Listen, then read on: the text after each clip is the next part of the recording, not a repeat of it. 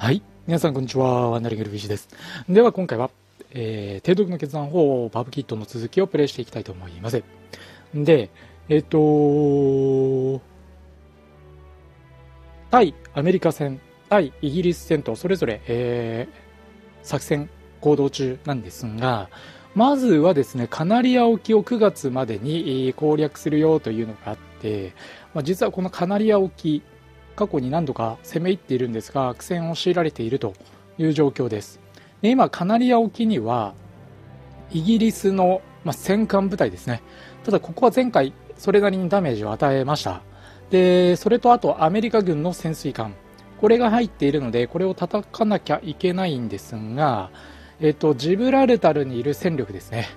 えっと今1隻10巡洋艦が消波状態なので、これが回復次第、え攻略戦に入っていきたいなというところなんですが、できればですね、空母を要する艦隊、もう1個艦隊を増強したいなというのもあり、かつですね、えっと、艦載機、これもね、ちょっと補充をかけていきたいなというところなので、えしばらくは、まあ、ちょっと残念ながら様子見をせざるを得ないかなというふうには思っています。まあ、どうしてもこの艦隊に配備する艦載機、これの数がね、もう絶対的に不足してしまっているんで、これをま補充しない限り、空母である以上、攻撃力が上がらないんですよね。じゃあ、えっ、と、後続の空母の状態どうなってるかというと、えー、最新鋭の洋上要塞型空母、これがですね、今6世紀建造中です。なので、これをちょっと待つかというと、一番早くても、えっと、あと12週かかるというのを考えると、この洋上要塞型空母は待てないかなというところなんですね。で、じゃあ他、あヨーロッパ方面に展開している艦隊でいうと、えっと、まずは、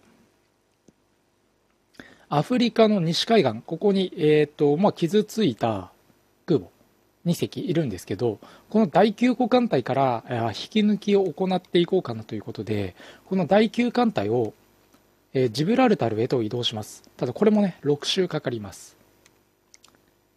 で第10艦隊の動向。この第10のジブラルタル第11のジブラルタルこの2個艦隊は動かせないのでしばらくここで待機。で第12艦隊のこの希望砲ですね。えっと、ここは絶対に抜かれたくないところなので、えっと、ここには艦隊駐留させます。で、最後、第13艦隊ですね。これが今、マダガスカルに入っているんですけど、このマダガスカルにいる艦隊を、えっと、逆に、このアフリカ西海岸へと移動させましょう。では、これで時間を進めていきます。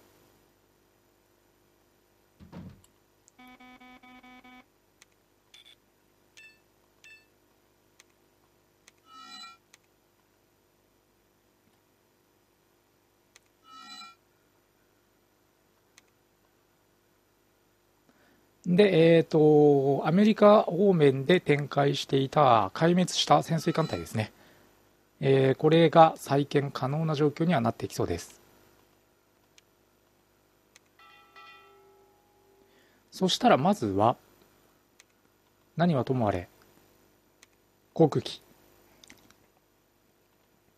これも本当はね、そろそろ、えー、新しい新型を用意したいんですけどね。いやー、護衛機も爆撃機も全てが足りないな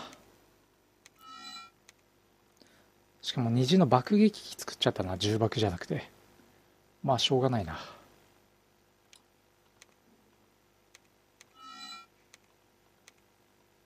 これでもアルミがなくなった？なくなりましたね。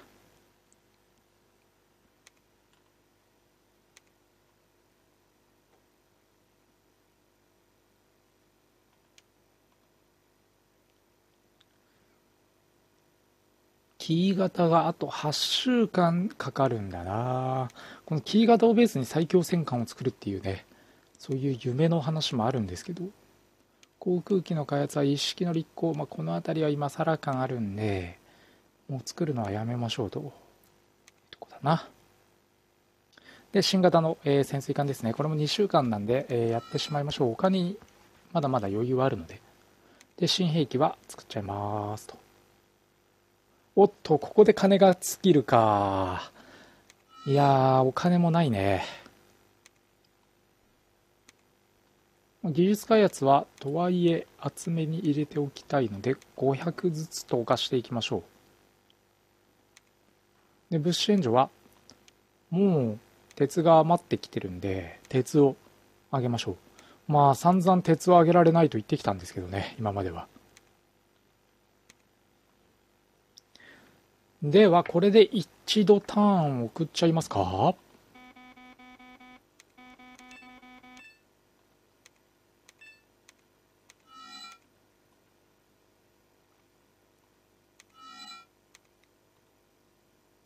追尾魚雷は欲しいな。すぐにでも欲しいっていうか一番最初に欲しいので技術開発で。いや兵器開発ですね。新兵器でえー、っと魚雷。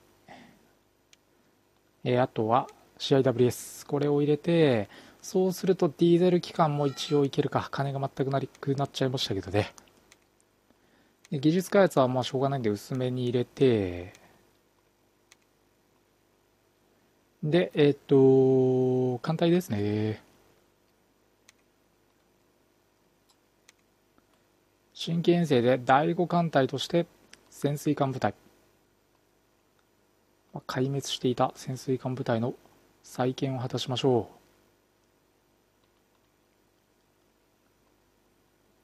非常に今後の海外旅行の予定をちょっとね、まあ、興味ない方が多いとは思うんですけどお話しておくと一応今月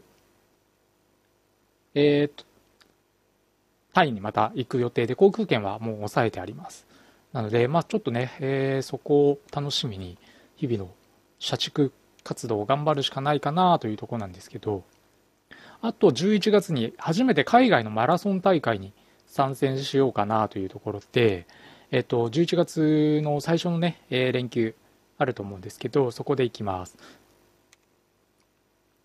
あと11月は3連休も確かね、月末の方にあったと思うんですけど、えっと、そこで、えー、またタイに遊びに行く予定になってますんで、で、10月はですね、ちょっと弾丸で行く予定なんですけど、久々に、えー、収録機材を持ち込んで、現地収録もしようかなと思ってますんで、まあ、ぜひぜひその様子も楽しみにしていただければなというふうには思ってます。というところで金もなくなりましたね。アルミが今度余っちゃうぐらいになってきたんだ。えっ、ー、と、物資援助は、まあ、ここは鉄を送ってあげましょう。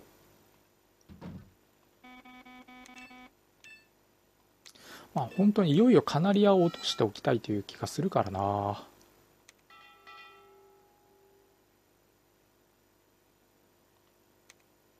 アフリカ西海岸に艦隊は入った？入ったね。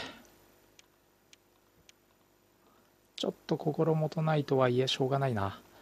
えっと、そうするとこの第13艦隊と、ジブラルタルにこう空き巣されるときついんだけど、イタリア近海、いやどうだ、大丈夫か？ジブラルタルをガラ空きにできるかっていう疑問なんですよね、スペイン沖。えー、7個の艦隊。うん、7隻の艦隊が入っていて、ジブラルタルの航空機の状況はあご覧のような状況ですね。第1、第2の飛行場、第3飛行場がないという状況か。カナリア沖、イギリスの艦隊。これだったら落とせるな。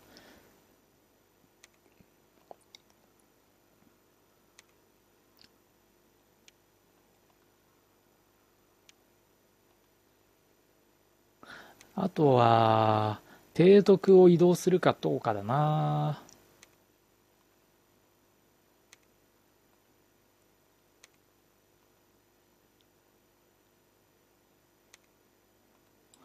希望峰にいる田中さんを転籍させよ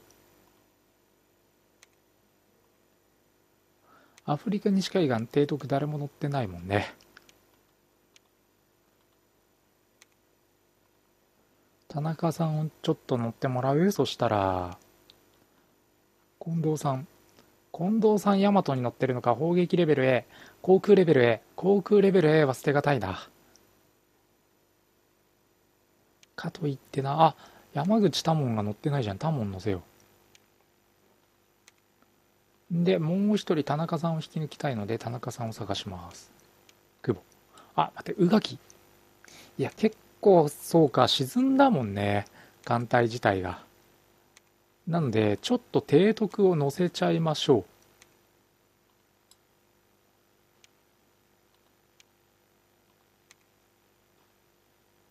もったいないからな乗ってないと。これはもうもったいないの一言に過ぎるんで特に水雷これはねもう必須レベルで必要なんで。あとは今回敵潜水艦が確実にいるんでその敵の潜水艦とまあどう折り合いをつけていくか。あーというのも結構重要なんですよね。でちょっと例によってなんですけどあのー、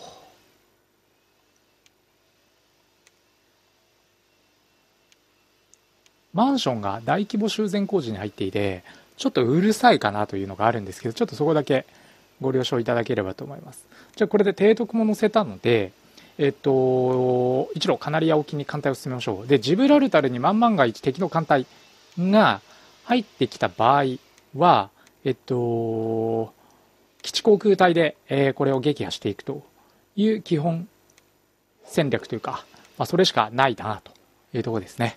じゃあ、えっ、ー、と、艦隊進めましょう。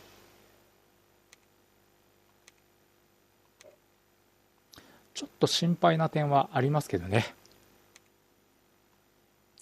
カナリア沖を攻略して金を手に入れておきたいというのがあるので、艦隊は移動させます。で、技術開発。の前に兵器開発かな。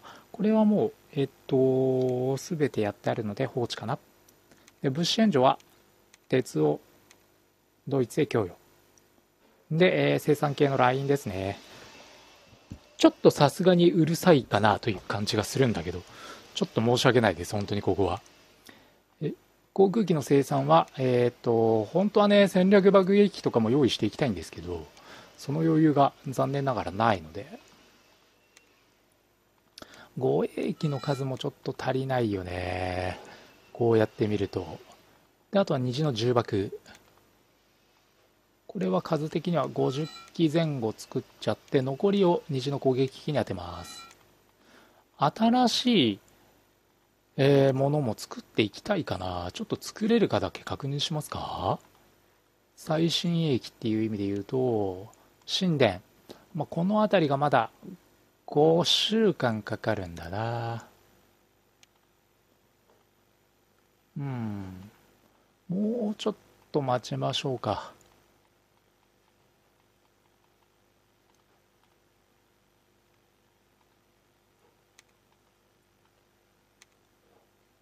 で輸送船もまあちょっと10隻ぐらい作っておいてえっ、と、インド洋とかで確か沈められたみたいな話でしたよね。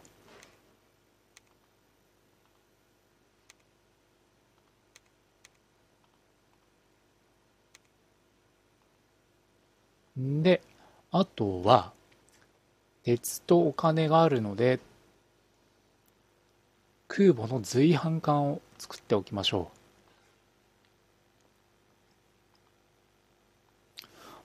今の空母の随伴艦といえば防空巡洋艦。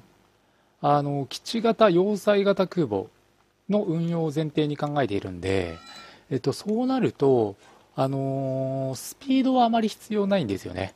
空母に随伴する以上は空母のスピードよりも速くてもあまり意味がないというのがあるので空母が遅い以上その随伴する艦艇が早くてもあまり意味はないので、もう本当にここは防空能力重視で、えー、作っています。じゃあカナリア落としましょう。えー、参考艦隊投入します。で、空母は、えっ、と、11隻投入しますね。えっ、と、第10艦隊からは空母が3隻。第11艦隊からは空母が4隻で、そのうち、飛竜型と、あとこれは、えっと、加賀かな？加賀型？総流ですね。総流型の空母。これも総流型だね。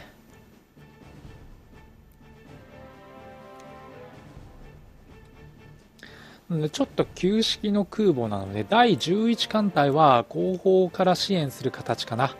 えー、第13艦隊は現状の最新鋭の装甲型の洋上基地型空母なので、この第13艦隊を前面に出しつつ、えっと、続いて第10艦隊。で、えー、最後尾に第11艦隊という並びでいきましょう。なので、第10艦隊は、あ前衛。で、第11艦隊は後衛。で、第13艦隊は、あ下からという形かな。これでいきます。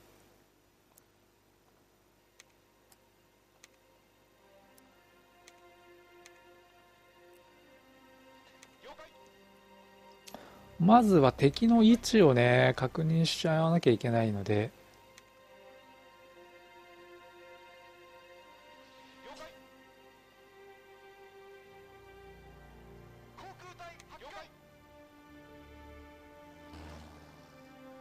まあ、あるいは敵がね、退避している可能性もありますからね。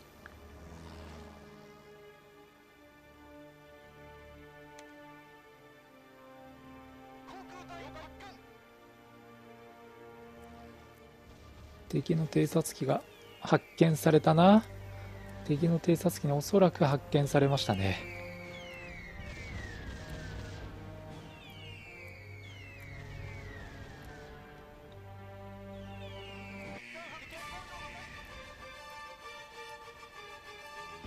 敵の潜水艦部隊だ。ちょっと逃げよう。敵の潜水艦部隊が来てる以上は。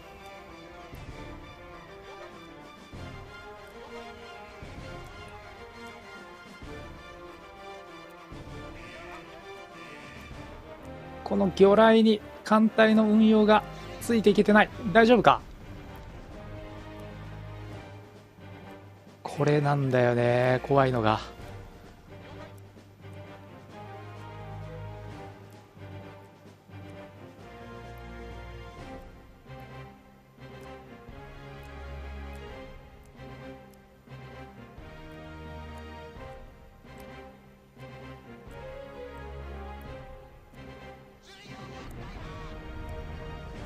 る見ているよ。いやー慶順が頑張ってくれないときついな。空母が空母がさらされてるぞ。大丈夫か？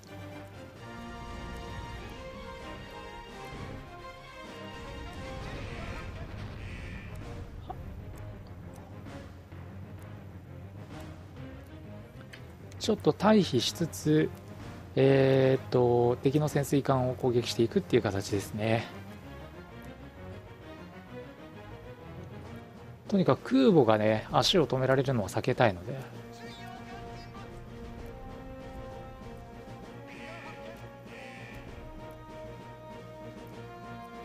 いや潜水艦部隊だな邪魔くさいのが。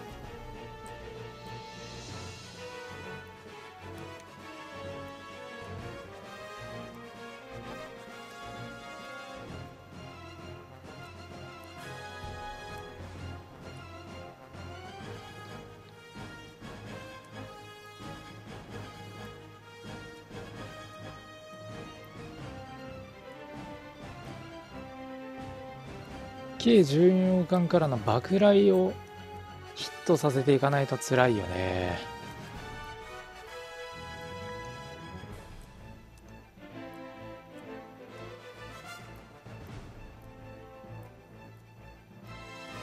ん？これ大丈夫か？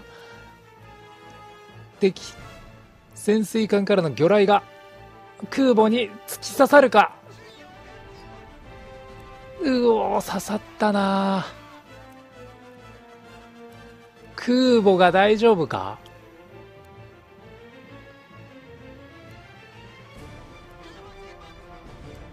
ぐわ。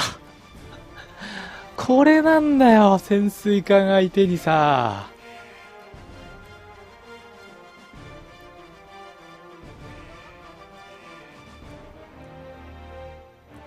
ここに来て敵のしかも戦艦部隊か。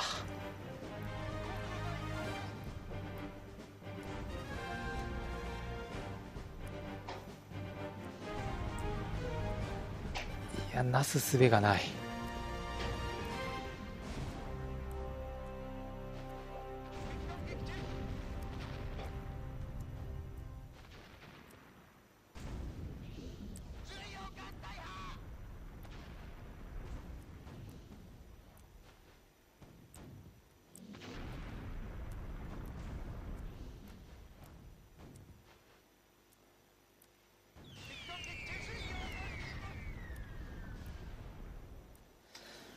いや敵の潜水艦の前に無力だな本当に。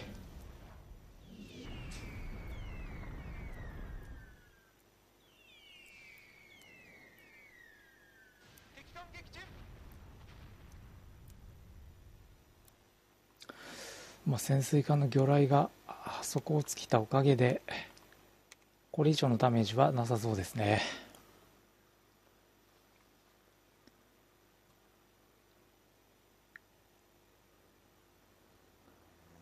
第10艦隊から空母一隻喪失です、まあ、実質的ダメージは潜水艦ですね。えー、正規空母洋上7型空母1隻。あとは慶順これが4隻ですね沈められてます。で敵の方は、えー、慶順が2隻戦艦に見えたけど全然小さいですね、えー、それに潜水艦3隻撃沈です、まあ、カナリア沖取ったとはいええー、また空母1隻失いましたか。まあ、敵のその潜水艦に対してこのところやっぱり損害が大きいですね。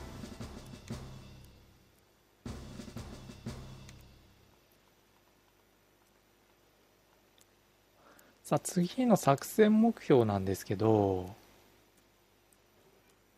ラプラタ沖ぐらいまで進行しておきたいよね。バミューダ、うん、ホークランド。まあ、ホークランド取ってバミューダというのもあるけど、カリブ海はちょっときついよな。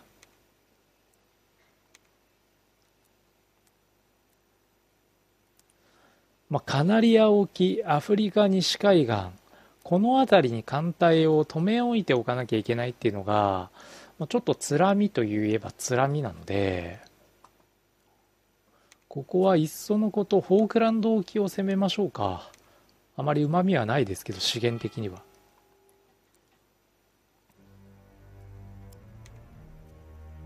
さあではえっ、ー、と技術開発入れていきます。ちょっと今回は厚めに入れちゃいましょう。で物資援助はもうどんどんどんどん鉄をプレゼントしていきます。で、えー、っと、航空機ですね。ま、それなりに鉄が余裕が出てきたので、まとまった数、用意していきましょう。いやでもな空母沈められると結構戦力がね、空母中心にえー、まあ、組んでいるというのもあって、ミス、うん、無視できないものがあるんだよね。洋上基地型の空母をじゃあ一隻建造しましょう。洋上要塞型でもいいんですけど、やっぱり洋上基地の方が全然早いんで。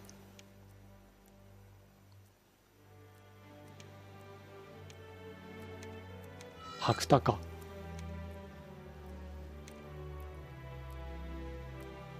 あとは、どうなんだろうな。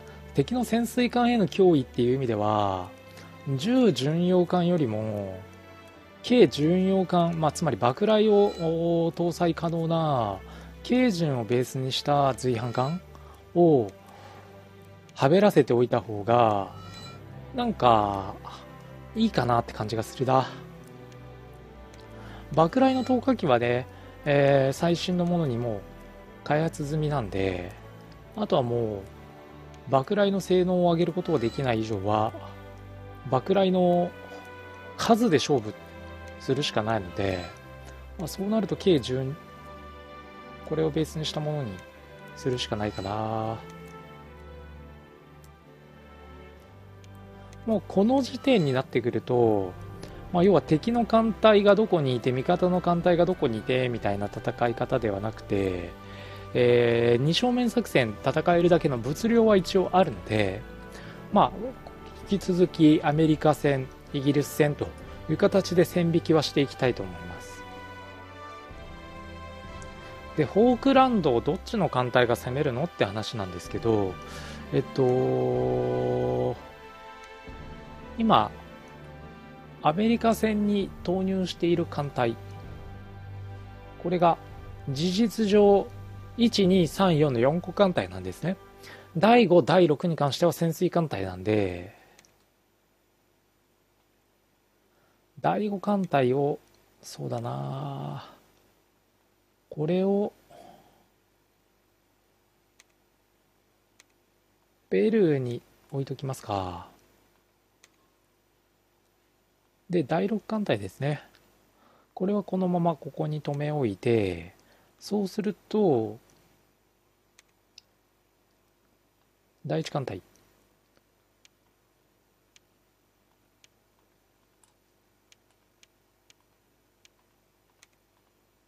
これちょっと関西機増強していく？そしたら。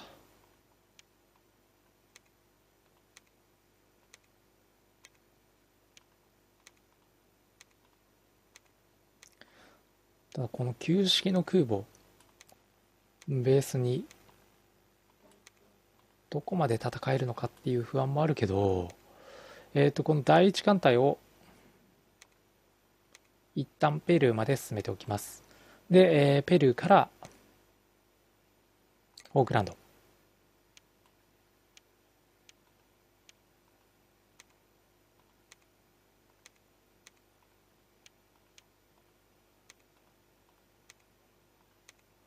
ていうのを基本戦略に据えますか。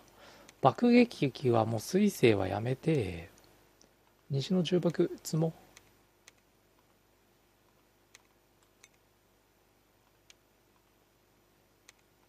で、加賀。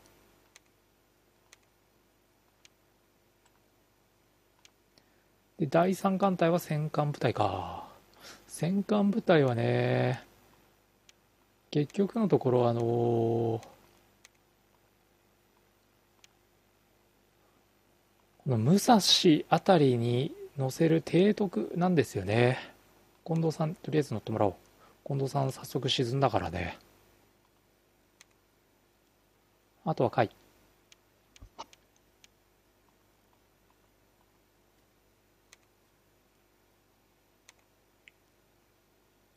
こんなところかなで、えー、っと、この第2、第3の両艦隊、これもペルーへと進出。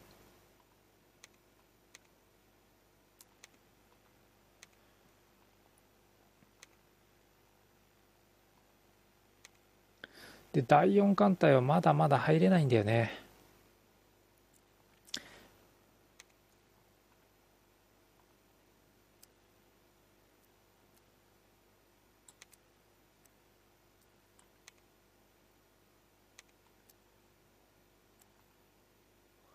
未配備感投入してあげたいかな。ちょっと待ってくださいね。今新規生で未配備感だとえっちゅうか。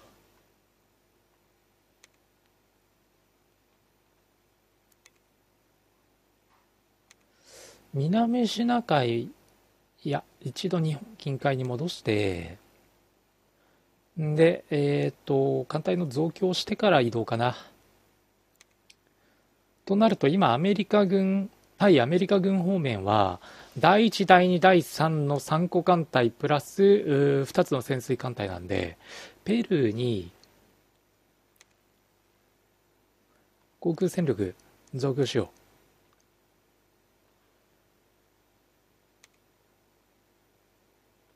ペルー攻め込まれると今の状態だと多分あっけなく沈みそうな気配があるのでうんとはいえ爆撃機天山だけ。虹の攻撃機雷撃機。虹の雷撃機の数を増やそう。これで持ちこたえられるだろう。100機の雷撃機があればまあそうそうは落ちないかな。かつペルーには、えー、この後潜水艦隊も移動予定です。よし。じゃあこれでホークランドを攻めよう。ホークランドにはスパイを送り込みます。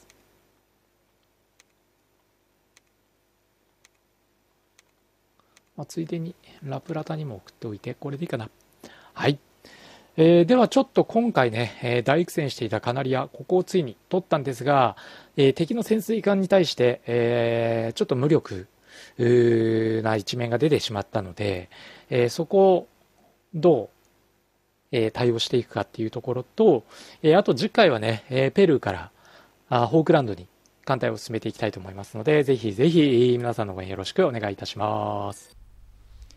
はい。というわけで、えー、最後までご視聴ありがとうございました。ぜひ、チャンネルの登録、あとはですね、ツイッターの方で動画の収録状況と、あとは配信状況、まあ、その他もろもろ情報を発信しておりますので、えー、興味のある方はぜひ Twitter の方もフォローしていただければあ嬉しいなというふうに思います。